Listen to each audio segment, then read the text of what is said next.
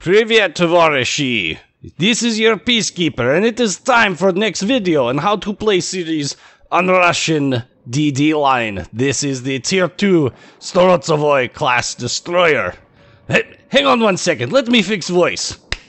Hey guys, alright, it's your Peacekeeper. And the Storozhevoi class destroyers are, are um, well, they're paper ships. I, I, I, hate to break it off like that, but uh, that's kind of the way that a lot of these ships are going to end up being. And unfortunately, Storozhevoi does not have a design number associated with it. And the best that I can tell is that Wargaming was able to find some obscure design plan for this ship in the archives that they have access to. And literally, there's no information for this ship anywhere. Literally nowhere is there information for this ship. About the only thing that we can even infer is just from looking at the ship itself, and we can see right here that it is bearing the flag of the Imperial Russian Navy, not the Soviet Navy. So as a result, um, that's about the extent of the information that's available on Storozhevoi. Uh, so we'll kind of cover some other things. Well, for one, Storozhevoi has an interesting name, and just so you guys know, the Russian and Soviet ships are oftentimes referred to with the pronoun of he. There are a couple of she's in the Navy, but overwhelmingly, Storozhevoi and all of the Russian destroyers are all going to be he's. Interesting little tidbit there. Uh, I know in the West we often refer to our ships as she. I know that some of the European nations will go back and forth depending on, you know, what it's named after. But overwhelmingly, uh, the U.S. sticks to she to describe their ships. I, I don't know why. I guess it's because ships are a labor of love for their crew, so they probably prefer it be female instead of male. But, uh, Anyway, the name actually, Storozhevoi, the name actually means guard or protector. And that's about the extent of information I've got on it. The only other thing that I want to throw out there is you guys are going to see the, the three letters VMF used to describe the Russian Navy or the Soviet Navy, and that means Voyana Marskoy Flot, and it literally means Navy in Russian. And it actually is applicable to both the Imperial Russian Navy, both before and after the Soviet Union, as well as the Soviet Navy. And so if you see VMF, that's what it means. Again, that's Voyena Morskaya Flot. It literally just means Navy, but it's always applied to the Russian Navy. The Storozhevoi, though, in terms of in-game playstyle, because this is a paper ship, we don't have any history to go over, because in her in-game playstyle, uh, Storozhevoi starts off uh, the Russian line with uh, a familiar theme that's you're going to see in many a ship after this, and that's going to be rush torpedoing. With only three rather slow firing and traversing guns, her gunplay isn't really that good, which is interesting because if you look at the end game for uh, Russian destroyers like, you know, Tashkent and Khabarovsk, you've got ships that have fantastic guns but nope, Storozhevoi definitely betrays that eventual gameplay style in favor of torpedo armament, which is also interesting because her torpedo armament is really not that strong either. With only a four kilometer range, it's not like she's a Rush or a Japanese destroyer that can sit in darkness and launch torpedoes at you indefinitely. Uh, she does have smoke, and it can be used for a multitude of purposes. However, I have to say that overwhelmingly Storozhevoi's strength with their smoke is going to be using it to cover the advance or of other ships or the retreat of herself after basically YOLOing. That's you only live once for those who don't know what that acronym means uh, YOLOing into enemy positions and torpedoing them all to death, which you're going to see in copious amounts in the battle video.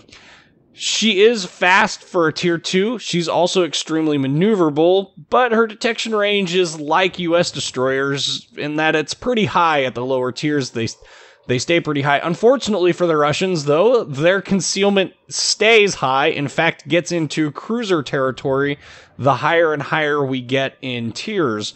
And so the one thing that you won't see a whole lot of anymore with these ships is going to be concealment builds. And that's because they're high speed and relatively good maneuverability makes them extremely hard to hit at longer ranges. And again, these ships are primarily focused on ambush torpedoing. As we get higher and higher in the tiers, they're going to start bringing guns into play, and then the ships are going to start basically being the long range HE spamming destroyer slash cruiser thing that Khabarovsk ends up being. So that's kind of the direction that Russian destroyers are going. Storozhevoi starts us off at the basically 180 degrees from that. But uh, is a fantastically fun ship. In fact, between Storozhevoi and the Sampson on the U.S. destroyer line, I'm really kind of struggling which tier two I actually like the most. Uh, I think Sampson overall I'm a little bit more comfortable with, and I, that's just simply because I played it more often. But I plan on keeping Storozhevoi around for a little bit just to kind of mess around with her, uh, or him, mess around with him a little bit more, and and uh, get more comfortable with the the lower tier play styles. It's it's a lot of fun. Let's go over the stats. She has 7,800 hit points, 13 millimeters of armor, which is basically nothing, which is acceptable. Her main battery consists of a, a 4-inch 60 caliber model 1911, not to be confused with capitalist 1911. It's only 45 caliber. It is tiny, half-inch, less than half-inch bullet. Anyway, uh, 9.7 kilometer range, reload speed of 5 seconds, 180 degree turret traverse time of 22 and a half seconds, which for the record is within uh, you know a couple seconds of the Japanese destroyer traverse, which is frequently considered to be extremely bad. Torpedo tubes, three triple launchers. They are uh, 33 second reload, 7.2 second 180 degree time turn time. So your torpedo tubes are going to get there before your guns are, which is one more reason why this ship is quite a potent torpedo boat. Although short range torpedo boat, 4K range, 0.8 kilometer detection range, and they do a pretty decent amount of damage 6,100, basically, 6,167 damage. That 33 second reload time is really what makes these torpedoes so useful and powerful. In terms of AA defense, no tier 2s see any carriers, but she does have two 7.62mm Maxim machine guns, as well as one 40mm Vickers AA gun, which is parked right there behind the uh, main front main gun. In terms of maneuverability, she has a top speed of 35 knots, turning circle radius of 490 meters, and a rudder shift time of 2.1 seconds. That is quite maneuverable for a destroyer, and at tier 2, it may not be the best, but it is definitely a lot of fun to play this ship. Oh my. Concealment 5.6k, which again is pretty comparable to the US destroyers at this tier. It's not great, it's not bad, it's just kind of. Well, I guess it, it, it, it's rivaling for the worst at the tier. These ships get spotted compared to their torpedo and gun range from space uh, 4K is really short on torpedoes. Detection range by air of only 2.7 kilometers. In terms of upgrades, Main Armaments Mod 1. In fact, this is pretty much going to be the standard for this first slot all the way through until we get basically until uh, on the alternate line I, I don't see much in the way of, of reason to take anything else as we get later on into some of those ships with stronger AA. If you really wanted to run them as AA destroyers, Auxiliary Armaments Mod 1 for the AA gun survivability, but most of those ships are going to have their AA firepower concentrated in their dual purpose guns. So, anyway, main armaments mod 1, that's going to be for the 20% reduction in the chance of your main battery and torpedo tubes getting incapacitated, plus 50% to their hit points, and 20% reduction in the time it takes to repair them. A magazine mod 1, somebody's going to throw it out there, but it's a 70% reduction in the chance of getting detonated. Well, the chance of getting detonated is already pretty low, and if you're really worried about detonations, throw the detonation flag on there. It's basically going to eliminate it entirely unless you run one of those flags that increases your chance to become detonated. So that's it for this stuff. Let's talk about a battle. All right, so this battle is obviously going to involve tier 2 ships, and it's also going to involve tier 3 ships. And the reason for that is because, well, um, ever since they kind of tweaked the matchmaker to put tier 1s by themselves entirely rather than tier 1s and tier 2s being together, well, yeah. We get stuck in tier 3 fights all the time. And just so you know, if you happen to see Privyat Tovarishi Udachi i Vasilitsia, that means good luck and have fun. Well, it means hello, comrades, good luck and have fun all, basically, is what that means. So, that's what that means. Uh, that's not me speaking Russian. I don't know Russian outside of little phrases. And uh, I use it mostly to troll the crap out of Moon Puma, who is a member of our clan that is uh, from Russia. So, anyway. Um, Okay, so Storozhevoi, you can see here there's only two destroyers in this match on each team, and that means that we get pretty much free reign provided their cruisers aren't paying a whole lot of attention. Now, because I've spawned up here on the north side of the map, it's going to be C for us, and that's where the fun and the party is going to start. And so this map is actually a lot of fun. I, Haven, I think, is the name of the map. Uh, anyway, the overall goal on this map is you got to have your team push through either A or C while simultaneously pushing through B. And that sounds a lot more complicated than it really is. If you spread out too much, it's very easy to lose these match uh, these matches on this map. Basically, if you can, you know, if you're pushing to let's say we pick BC, the vast majority of your fleet needs to push to B at least until you can figure out where the other team went so that you can kind of figure out whether you need to pivot to the north or pivot to the south.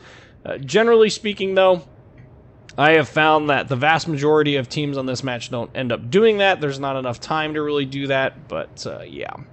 So we've got a smoke cloud coming up here, and I know what's going to happen. G101, you have been spotted, mostly because he is firing.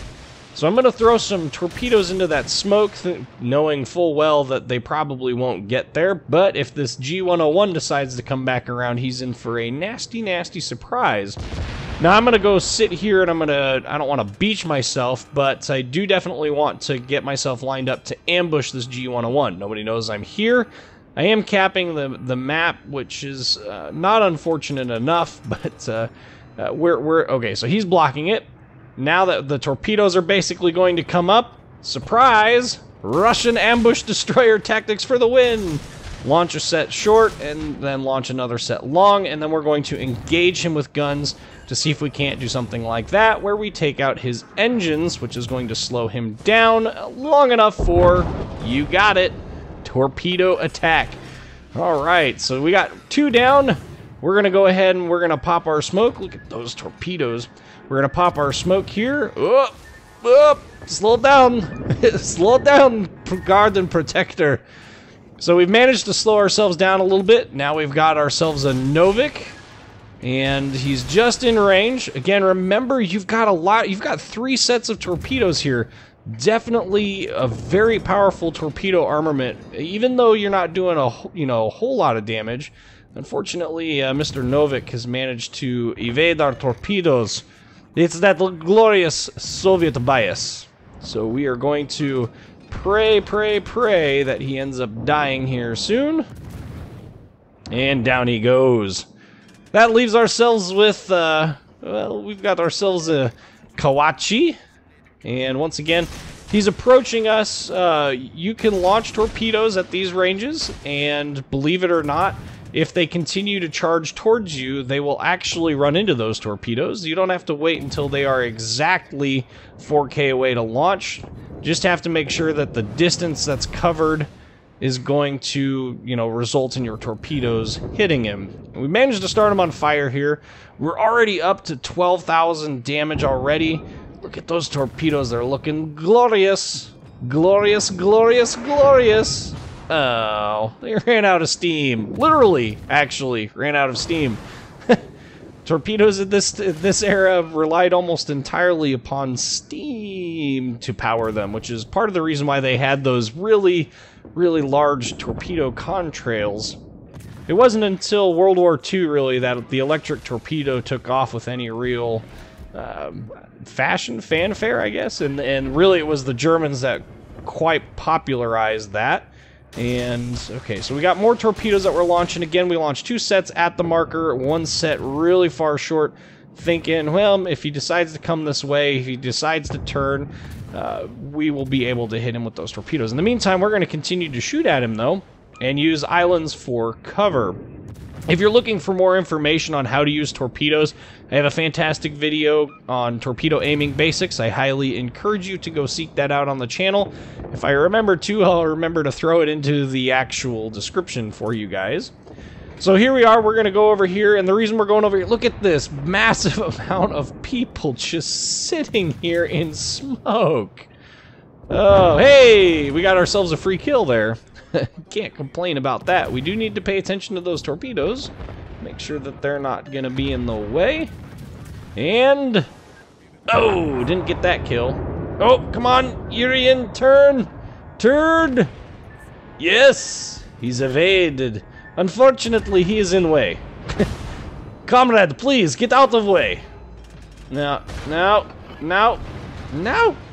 Since he's going ahead, we're, we're going to launch him ahead of him ahead of this uh, poor, poor, poor Dresden, he's not going to survive this engagement. Uh, yep, down he goes.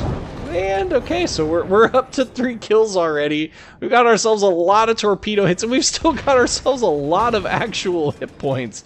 Uh, just now breaking into the yellow. But look, we got Friant, and we've got ourselves a target off there on the right. We got ourselves a Kawachi. Man, we're just in a target-rich environment here, so let's go chase down Mr. Friant. He's behind the island here. We've got our speed boost up for eight more seconds. But we definitely need to uh, get this attack off and plan it just right and launch one ahead. Ooh, launch one ahead just in case. Normally I would. However, this time, you can see that I am not. I'm holding off. And knowing that Friant has uh, torpedoes, definitely needed to slow down there to avoid getting hit by those. And down goes yet another ship. We're we're in Kraken territory here. Think thin. oh my. Now would be a perfect time to have smoke up, but unfortunately we do not. uh, yep, it's time to run away. run away! Run away! Oh my. So we're going to continue to engage as we run away, hoping that we can get this fire out before we get killed. Hopefully, hopefully we can get away before we get killed.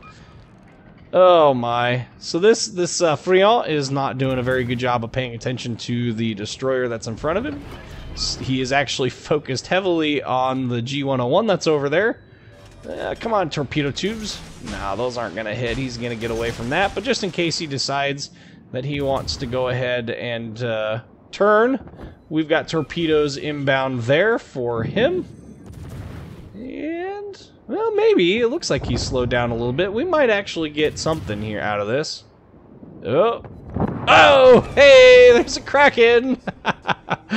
well, we've got a couple of other heavily damaged ships. We're no longer detected, which, well, see, I would have hit him with those.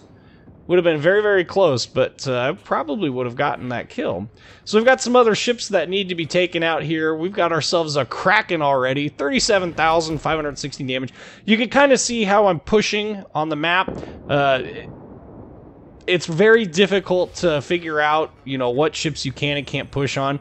At this tier, what I've found is that the vast majority of players are focusing on the big ships. They're not really focusing on the little ships, and as a result, you can get away with quite a lot in these destroyers when you, you know, YOLO charge at people. And the key is to look at the mini map and see what kind of ships are in an area near a ship that, that's supporting it. So, for instance, in this, You know, they've got themselves two two battleships, a Nassau and a Kawachi. Uh, this Nassau was at least originally coming north. Well, it looks like he's still coming north.